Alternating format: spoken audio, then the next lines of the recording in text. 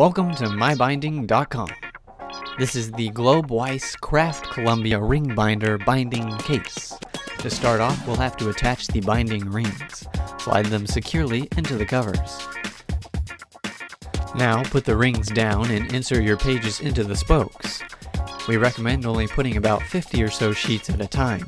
The more sheets you try at once, the harder it will be. Bring the curved section up, push them inward, and snap them in place. Then swivel the clamp around to hold your pages in place while not flipping pages around. Now we have a full two-ring binder, but it doesn't stand up on its own.